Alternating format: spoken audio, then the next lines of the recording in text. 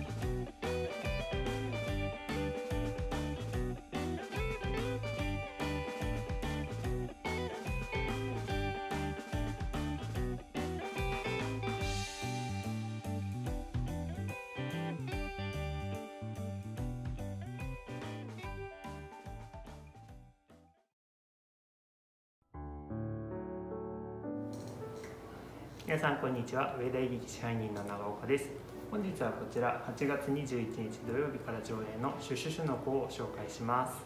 2020年コロナ禍で仕事を失った映画スタッフ俳優未来を担う若者たちそして1011名のサポーターたちで作り上げた、埼玉のラッパーや AI 崩壊で知られる入江優監督10年ぶりの自主制作映画となっています、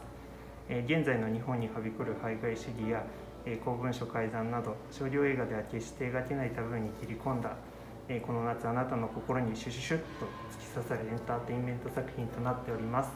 ぜひ劇場のスクリーンでご覧ください。